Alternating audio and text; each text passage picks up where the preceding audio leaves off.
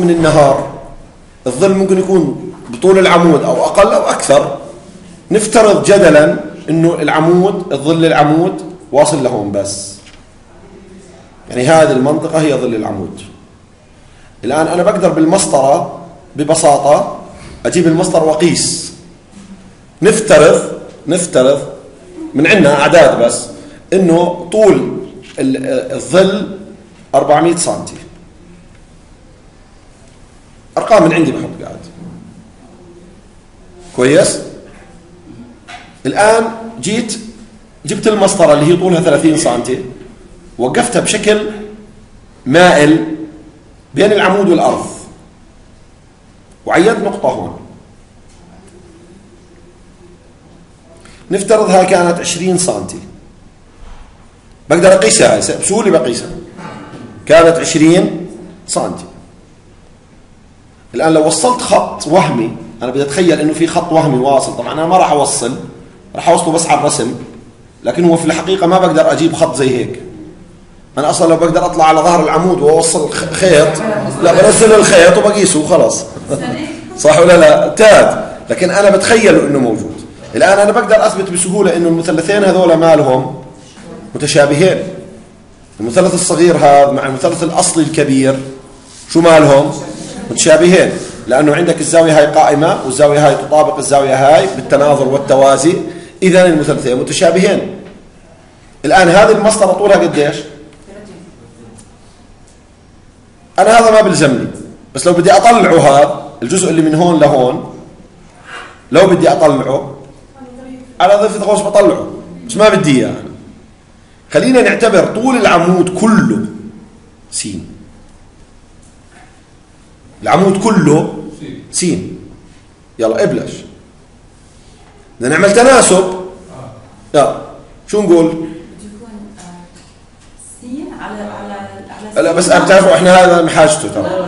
هذا إحنا بحاجته يلا 30 تربيع 900 يساوي 400 زائد مثلا هاي يسموها لام. الجزء هذا بنسميه لام. زائد لام تربيع. اذا 500 يساوي لام تربيع إذا لام يساوي جذر ال 500 اللي هي 10 جذر 5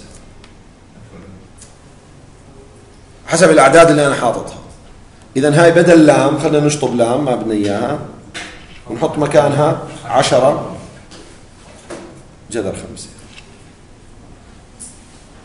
يلا خلينا نعمل التناسبات. يصير 10 جذر 5 أيوه. على سين. على سين. يعني لو أخذت الضلع اللي هو اللي هو هذا الضلع. قسمته على الضلع المناظر له في المثلث الكبير على سين اللي هو على سين. اذا 10 جذر 5 على سين يساوي. تنسوش إنه سين هي طول العمود. 29 على 400 بيساوي 20 على 400 أتوقع انتهت المسألة. بتفسر السين تفسير. ضرب تبادلي. انتهى السؤال. طلع طول العمود. شو كيف التشابه بحل مشكله بس هذا طبعا في الواقع العملي بيستخدموه مش بس لهاي. افرض سفينة في البحر وانت عندك منارة وبدك تعرف قديش السفينة بعيدة عن البر آه نظام المدافع. هذا كله رياض كل الحياة العملية رياضيات. انت مش بس تحفظ لي انه والله متشابهين يعني الأضلاع متناظرة متناسبه هاي شوف طلع كيف سوينا التناسب. في فكرة ثانية له نفس السؤال بقدر أحله بطريقة مختلفة. بقدر أفكر فيه بطريقة مختلفة. طلع كيف؟ بجيب العمود. وهاي الظل تاع العمود. وهاي الشمس طالعة هون. أنا بس عشان أقول وين الظل يعني اتجاه الظل هون. بس ليش برسم الشمس أنا؟ لأنه دائما الظل بيجي عكس الضوء. ولا لا؟ بس لما توقف جنب لمبة لمبة فوقك هناك. وأنت واقف قدام اللمبة وين ظلك بيجي؟ قدامها. مزبوط ولا لا؟ كويس. نفترض إنه ظل العمود واصل لهون.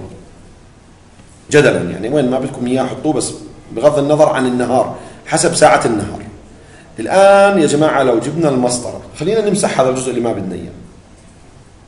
لو جبنا المسطرة والمسطرة وقفناها هون. عند طرف الظل.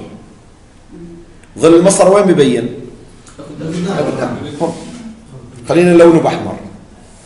هذا ظل المسطرة. تمام؟ الآن لو مسكت المسطرة وصرت أرجع فيها أرجع فيها لورا. ظلها شو بصير فيه؟ برجع معاها بدخل مع ظل العمود. معاي انتو؟ مرة ثانية ماسك المسطرة بهذه الطريقة وشو قاعد بسوي فيها أنا؟ برجع فيها لورا. بقدر أظني أرجع فيها لحد ما أصل لوين؟ طرف ظل المسطرة مع طرف ظل العمود. يعني لمحد لحظة ما يختفي ظل المسطرة. مش أنا بمسك المسطرة هيك لها ظل أمامها ظلك. ارجع فيه لحد ما يختفي. أول لحظة بيختفي فيها ظل المسطرة. معناته المسطرة راح تصير في مكان ما هون. نفترض. إذا ظل المسطرة صار مركب على ظل العمود صار في هذا المكان. إذا هذا الجزء كله ما بدنا إياه. خلص انتهينا منه. الآن خلينا نوصل خلينا نوصل بين الخطين هذول. هذول وهمي هذا خط وهمي مش موجود. الآن بقدر أثبت بسهولة إن المثلثين متشابهين. صارت زاوية مشتركة وفي زاوية قائمة لأن المسطرة أنا موقفها عمودية على الأرض. لأنه المسطرة أنا موقفها عمودية على الأرض. بالضبط. وهاي مشتركة. إذا المثلثين الكبير والصغير شو مالهم؟ هاي نفس طريقتك بس بص- صورة مختلفة. الآن لو جيت اطلعت عليها طول المسطرة 30 سم عارفه. وطول الظل هذا نفترض إنه 20 سم ونفترض إنه هنا طول الظل 400 سم فرضا يعني بقدر أقيسه لأنه على الأرض كله بقيسه. وهذا اسمه سين. رد اعمل التشابه. يطلع نفس الجواب. وصلت؟ صعبها؟ يعني الثنتين كويسات. الثنتين كويسات. لكن أنت هون في حركة عملية عملناها. إنه أنا وين أحط المسطرة؟ كيف بدي أركب مثلثين متشابهين؟ هون كانت المشكلة. آه هي كانت المشكلة. أو اللغز في السؤال إنه أنا كيف بدي أكون المثلثين المتشابهين؟ لو قدرت تكونهم انتهت. هسه الاختصار تلخيص مسائل التشابه بدون استثناء مسائل التشابه بدون استثناء هي شكل من شكلين. يا إما هذا المنظر. شايفينه هذا المنظر؟ يعني زي اللي قبل شوي رسمته. يا إما هذا المنظر.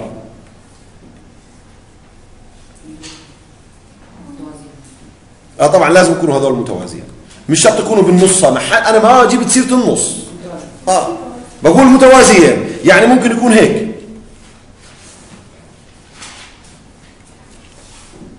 عشان ما حدش يقول لي إنه الخط هذا جاي بالنص مش بالضرورة. مسائل التشابه. لما تشوفوا منظر مثل هذا المنظر أو مثل هذا المنظر اعرف إنه السؤال بنحل على التشابه. وببساطة كنت مغمض.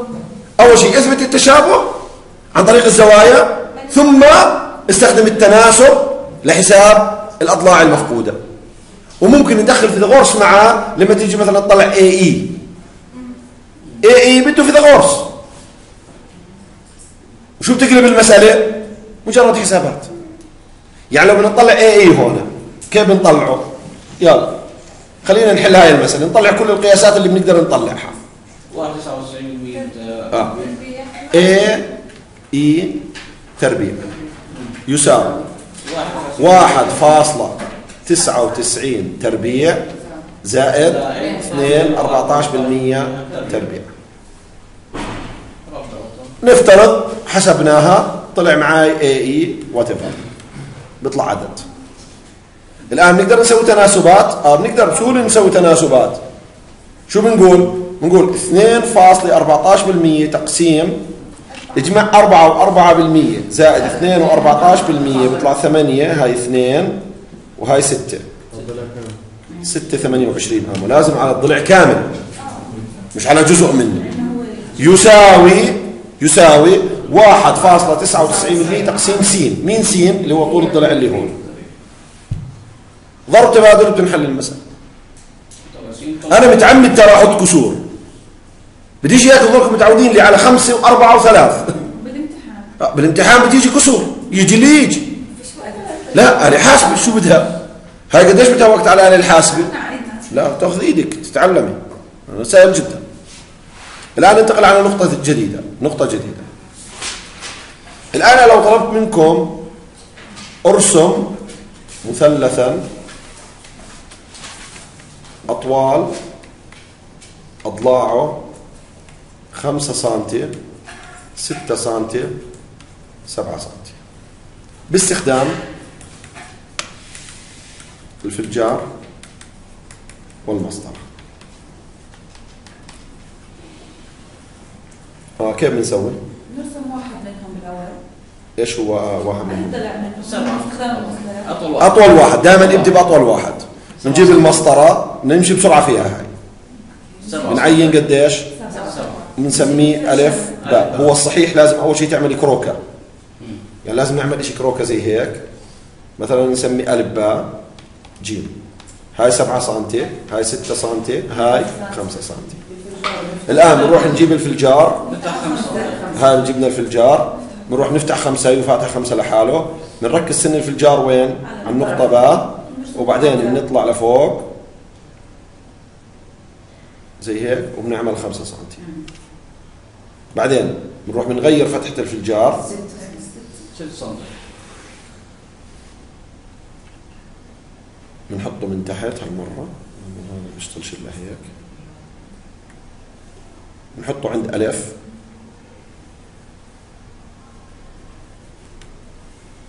بنحطه عند ألف. وشو بنعمل الفتحة هون؟